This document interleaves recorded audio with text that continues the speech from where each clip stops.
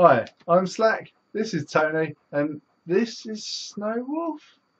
No, this is Snow Wolf 200 watt version 1.5. Alright.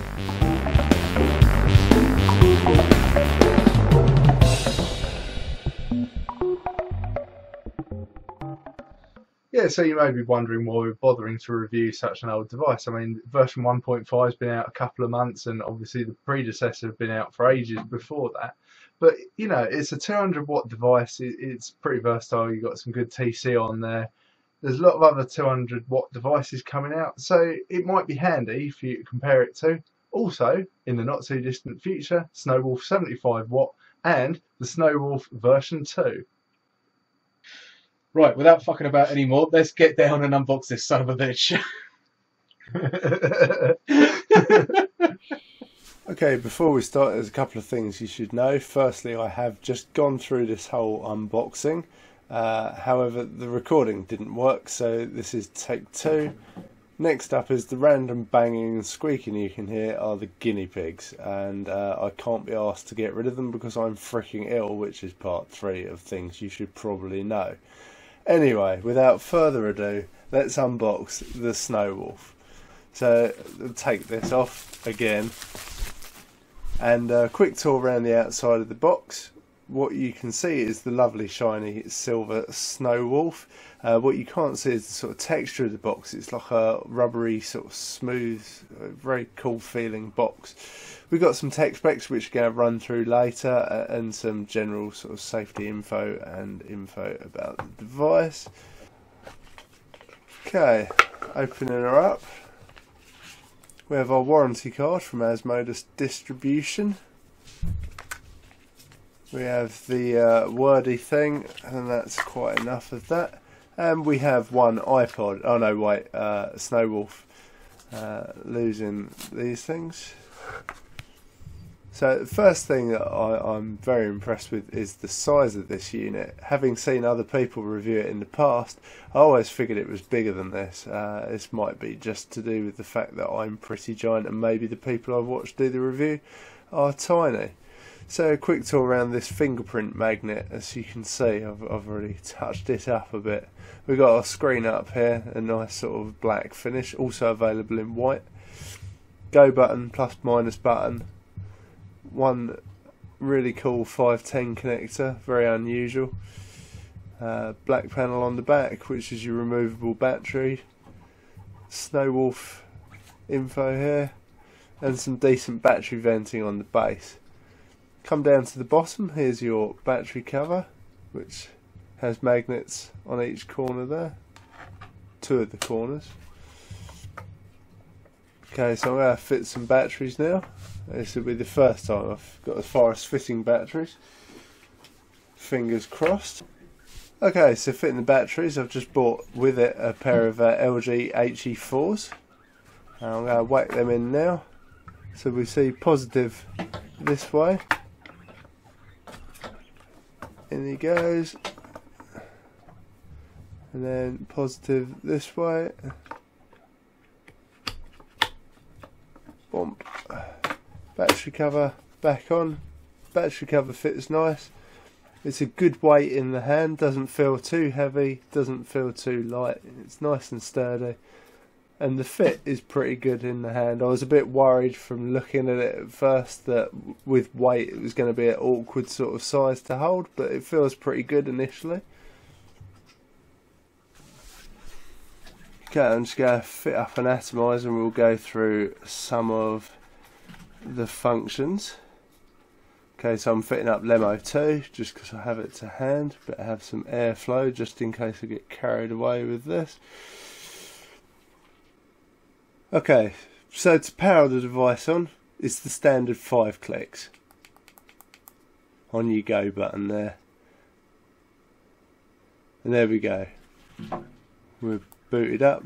Quick tap of the uh, go button I don't know if you saw that it went from zero ohms to actually take the reading what we're getting on the device.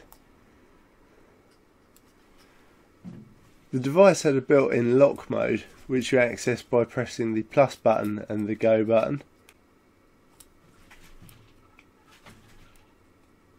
simply on and off. That's really quick, that's really smooth. There's no waiting, there's no messing. Plus go, done. Simple. As the Lemo is fitted with a Kanthal wire, it's automatically picked that up and chucked you into wattage mode. So you can just simply use the plus and minus buttons to adjust through your wattage. So we go from 5 watts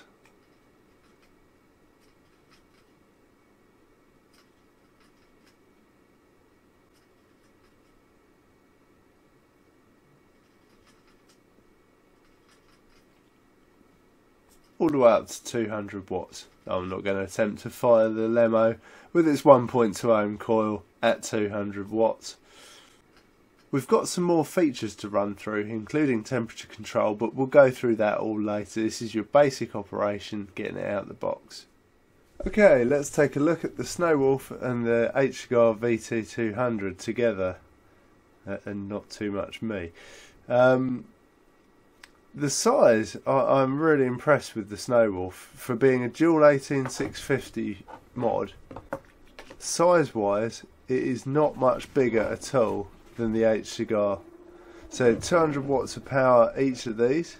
Uh, the Snowwolf is slightly bigger, it is slightly heavier, but not by much. I mean, we are talking like very little in it which is very impressive in my opinion. Screen wise, you're actually looking at a very similar sort of size and brightness of screen. Uh, it may not look it on camera, but there's very little difference in it uh, in the real world. Having just fitted tugboat on there, uh, it's asked me if it's a new atomizer, and it's doing the standard plus for yes, down for no. Which I've just confirmed. Okay, coming up, tech specs. Pause it if you want to read it.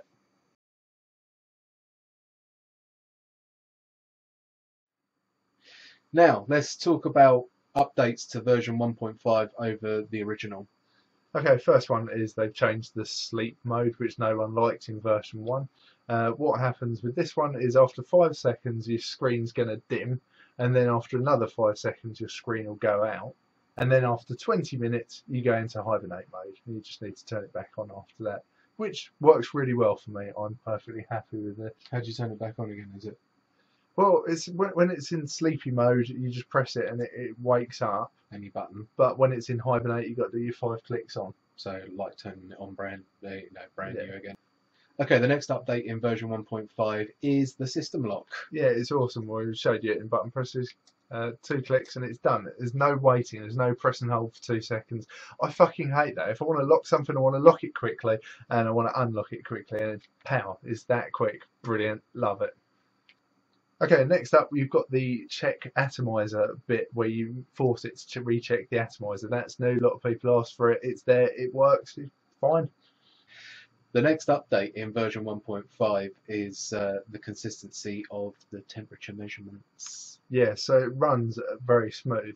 However, um, I found it, and I've seen other reviewers have also found it. The temperature you get on here, you set 200 degrees. It's different temperature to 200 degrees on another device. So I don't think they've got their temperature that much more accurate. It's probably better than version one, but you know the temperature itself is still out.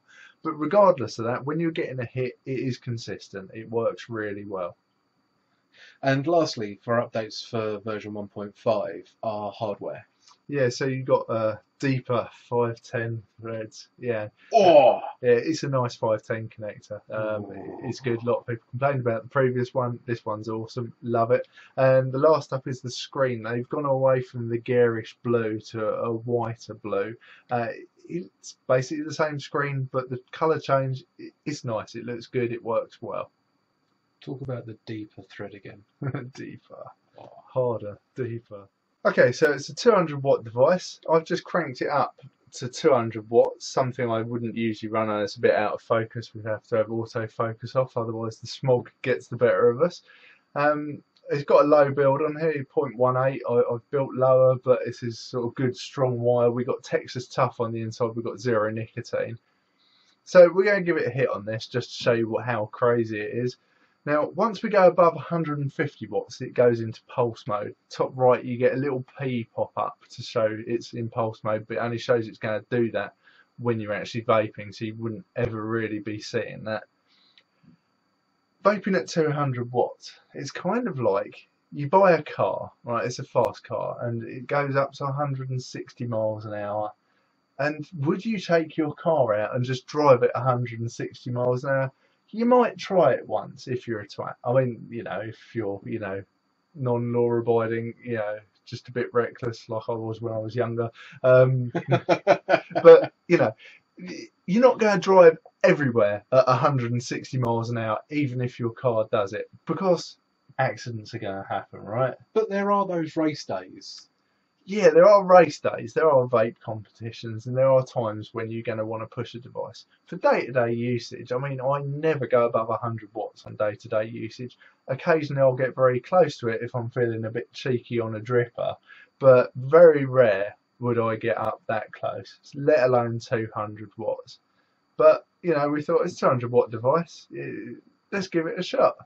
So, for your viewing pleasure and, and for science. And for science. For science, 200 watts on a nuke clone with some uh, 24 gauge, 22 gauge flat wire. Sorry. Right, let's do it. Should I stand back? The, the emergency plan is it launches out the window. Uh, Okay. If it misses the window, you run. Everyone clear on that, right? Emergency plan.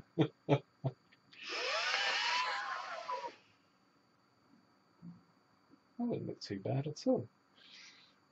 That smells delicious. Right, we've got some juice left in it.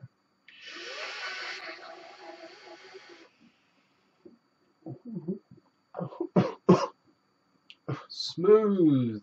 So much paper, it just wouldn't stop. it wouldn't get out. Oh, Jesus. Oh, it's tasty as hell, though. I'm going to actually give that another hit. In a way, it's a shame I chose the nuke. Now, I chose the nuke for the massive airflow for when you're chucking 200 watts. Uh, however, but you can hear it there. Chugga, chugga, chugga, chugga. Now, that's what it does. Above 150 watts, your pulse rate. Chugga, chugga, chugga. Yeah. Let's give it a hit anyway.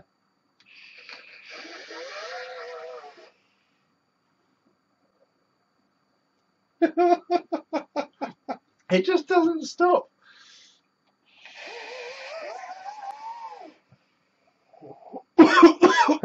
See, you laugh at me. You laugh at me. See, that's quite enough for 200 watts. oh yeah. this is for you that we do it. This is for you. Yeah, definitely. No, that was lovely. I'm not. I'm feeling a bit ropey, so. Uh, let's clean the cryptic. Oh yeah, yeah, definitely. Safety first. Safety first. Concentrate.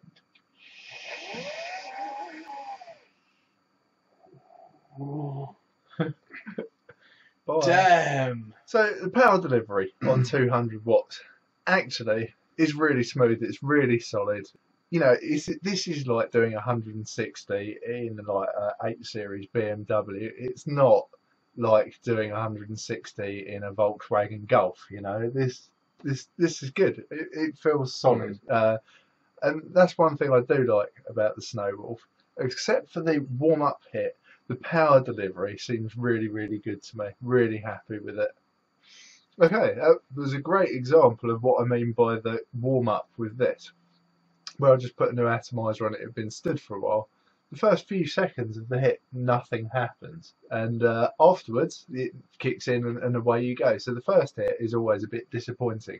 After that, it's just dead on power delivery. Okay, we're not going to do an up closey for button pushes because you know everyone's seen it. So I'll just reel them off, and uh, Slack will show you here and now. So how do we turn it on? Standard five clicks and uh, go through boot cycle, and there you have it. Okay, next up, how do we lock it? So plus button and up, uh, and bam, straight away locked. There's none of this three clicks, press and hold it for two seconds, power locked, unlocked, locked, unlocked. Brilliant. Okay, so when you uh, fit a new atomizer to the mod, it will detect the resistors. But for any reason you need to check the resistance manually, Slack. Yeah, so just quite simply press minus and go, and it asks you if you've got a basically a cold coil in there, uh, so you can sort of it's a bit like resistance lock. Uh, I haven't, so I'm going to say no and just reverts to where it was. Adjusting temperature and wattage. So if you've got a TC unit in, you can, uh, whichever mode you're in with the plus and minus buttons up and down, and press both plus and minus together and it'll switch between wattage and power mode and you just cycle them through. Now power mode it only goes up to 75 watts. Uh, what I've been finding though is that some of my temperature control units don't like to believe that they're temperature control units on here. And it says it only works with pure nickel. I've been using pure nickel and I've had it just suddenly go into power only mode. You can tell it's power only mode because it says power there rather than displaying a temperature. Yeah but uh, I mean it's a dodgy coil so but that's good. That's temperature control working at Yeah. its finest there. I mean that was a good example. So I've got a dodgy TC coil in here it, it's on low temp mode and I'm not getting any real vapor out, but I'm not getting a dry hit. Hmm. It's working as expected. Okay, so now comes the time where we usually do pros and cons. It's, it's such a blur between pros and cons and our usage and findings, so it may come out all in a bit of a smush. But let's just run through some things that we found when using it. Okay, so first up on the cons for me, a pet hate of mine. I know a lot of people go on about battery safety and all that shit, but there's no USB charging on it, and what with there being no USB charging means there's no firmware updates. So just another typical example of a company not willing to invest in the future of their devices and just pump out another device to the masses. Yeah, I mean, I do agree with that. That is a downside that there's no firmware update. I fully get why there isn't USB charging. You know, big devices don't have USB charging unless you're on your LiPos with your really intelligent charger. So, I mean, yeah, USB charging would be great, but I get that it's not there. I get why it's not there. To have something that will deal with the charging's load of extra space and electrics and hassle, and it's just not done. But it is a pain. And you need to remember that if you're stepping up from an iStick 100 watt, Hmm. something like that, you know, there is no USB charging. You're going to need to factor in yanking your batteries out and, and sticking them in a charger. Not a problem for me. That's how I do it anyway. Tony hates it. Ah, But yeah, no firmware updates. So if you want an update, you know, you can't. If you want to get a new temp control profile for titanium, you can't. If you, you that's it. You know, what you buy is what you get, and, and that's kind of a con. But at the same time, there's also a pro to that. It makes the device a lot less simple. There's a lot less fucking about. You turn it on, you use it. When you finish with it, you turn it off. End of story. It makes it simple. It makes it just like me, simple. and easy. okay, next up, which is firmly a con, I have had some real problems getting it to notice that I'm using a temp control device. You know, I'll, I'll stick a dripper on there that I built with pure nickel and it doesn't freaking pick it up. Or sometimes it picks it up and changes its mind. It, you start off and you vaping around and you just, why is this so hot? Oh, because we've gone into power mode and I'm just chucking 75 watts through the fucker. so, you know, that isn't perfect. But when it does work, temp control is really good on here. I really like it.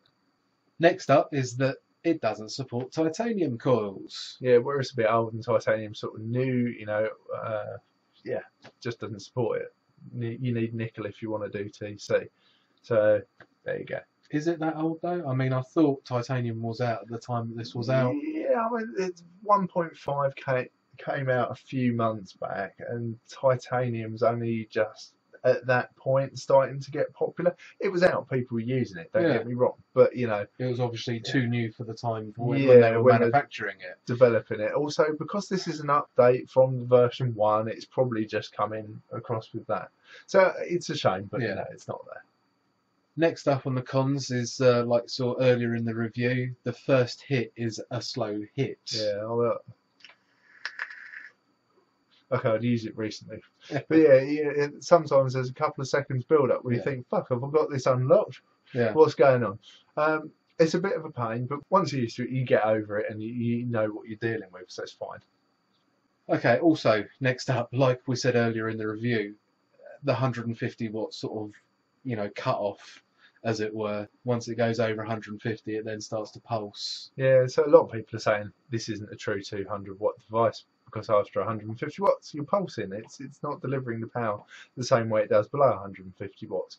Now, it is a con, because you know this is not a true 200 watt device where you can get your continuous 200 watts. But at the same time, I'm not going to be vaping that high, and when I do, it adds that bit of safety, you know, pulse on your batteries. So it's all right. It is a con, but it's not a bad one in my opinion.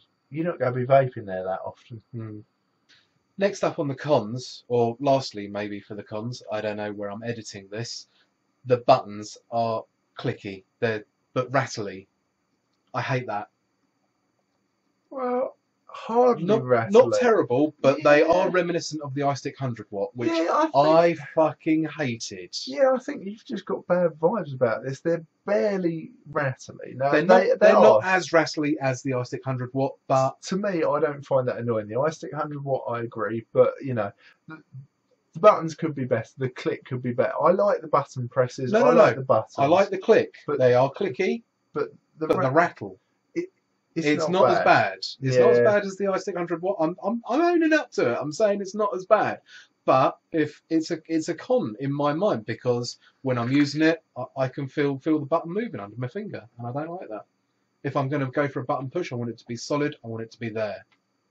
Okay, one thing that may or may not be seen as a con is the size of it. Now, I, when I first got this, I thought it was a pretty good size. You know, it's a dual 18 650, uh, and they sit in there nicely, and it's pretty slug. And you think, yeah, 200 watt unit, dual 8 and 650, that's a good size. Then you have the iJoy Asolo 200 watt, which is smaller by maybe 10% all the way around, 8%, you know, but it's much smaller, it's much lighter. The size difference is noticeable also 200 watt. So I'm going to say about styling. Uh, while I like the metal around the outside, the the the, the face of it, fingerprint magnet.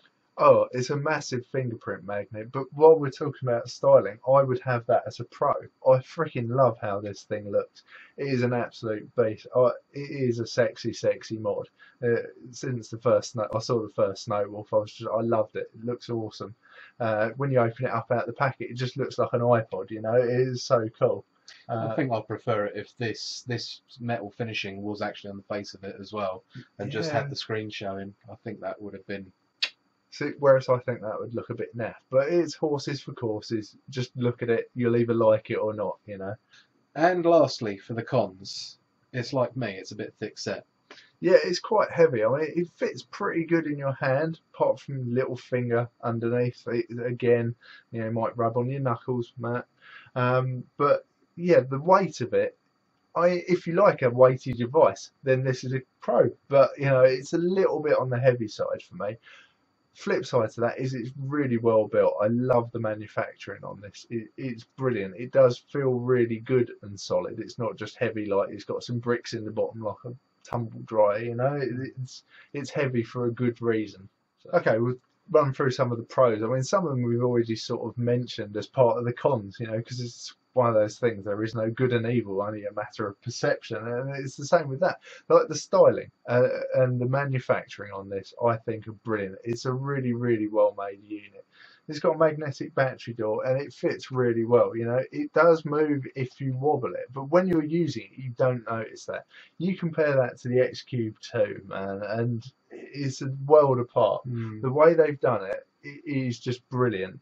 The other thing with the battery door is that there's two two sort of like nodules uh, either either side of it, and those nodules are actually different sizes, so you're never actually going to get it round the wrong way. Yeah, only fits one way. You've got double magnet at the top and a bigger magnet at the bottom, and it just whacks in nice and easy.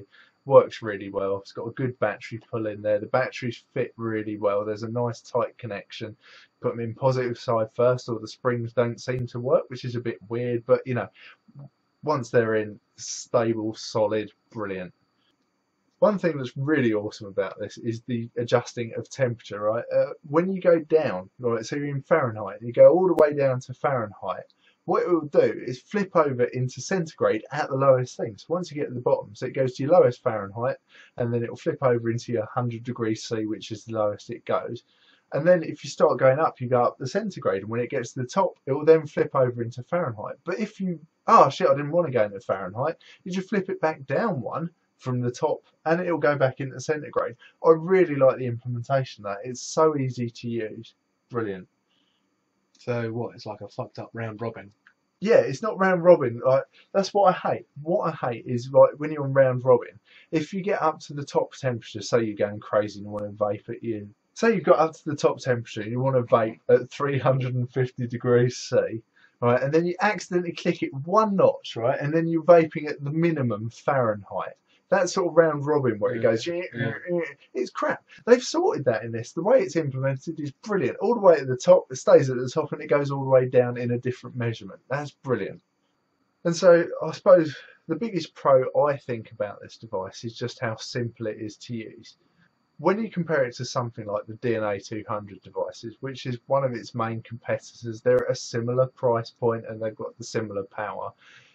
You can do a hell of a lot more with the DNA 200, but you will be fucking about with it a hell of a lot more.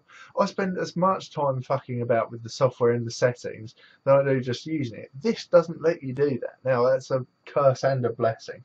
So for me, I just love the simplicity of it. Pick it up, go, adjust the wattage, adjust the temperature, it's done. All in the button clicks, no connection for USB, no wondering whether you need to check for a firmware update.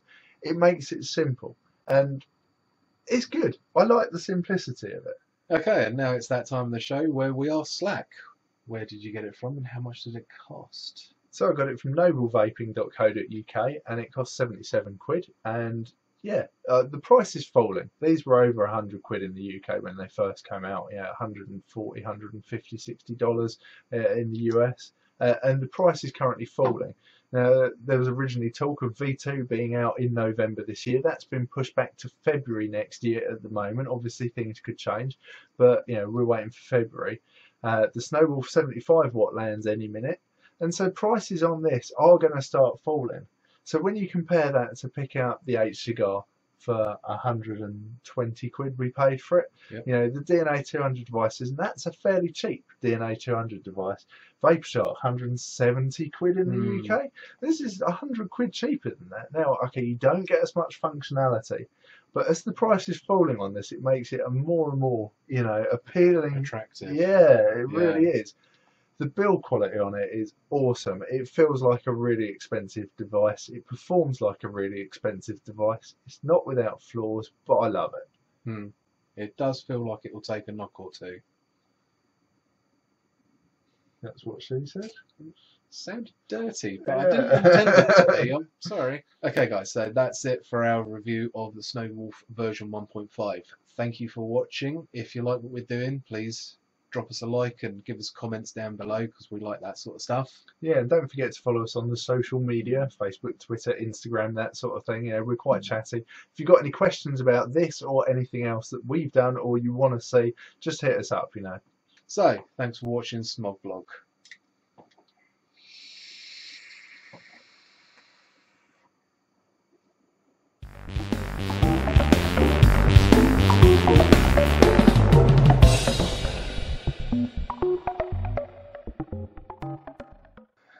Hi, I'm Slack. This is Tony, and this is Snowwolf.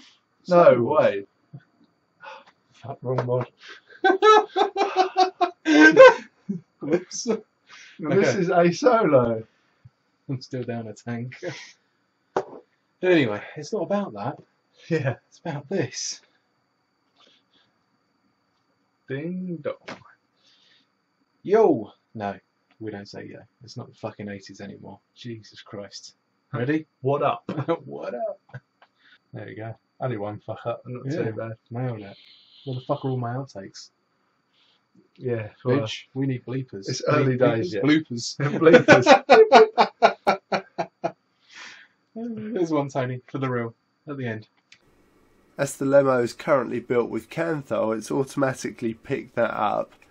As the lemo is fitted with Kanthal, it's as the lemo is thi- uh, English. and with some really fucking ominous looking. Wow, that looks really ominous, right? um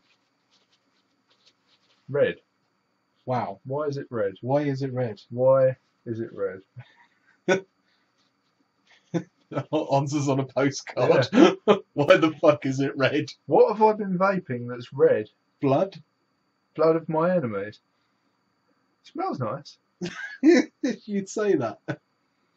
smells like grape, but grape isn't red, so why is this red? New atomizer, no. That's what I did. Smooth! What do you think, gerbils? Guinea pigs.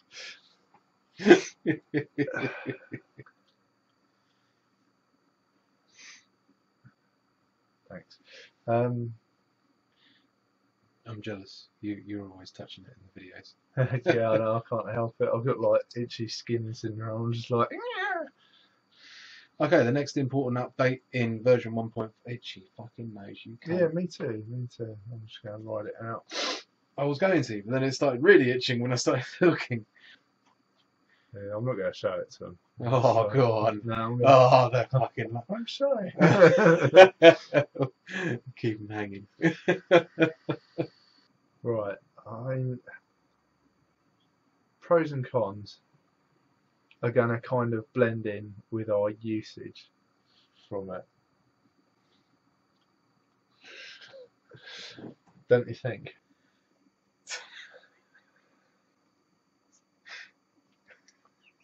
You're going to weigh everywhere. Right, I'm laughing. One thing I really like about the. Another thing I love. Another thing he's loving Yeah. about this device. Yeah. Fucking hell! No. Do gonna wee myself. Do you want me to get a blanket? I'll put it under you. Nappy. Yeah. How's that need for a wee?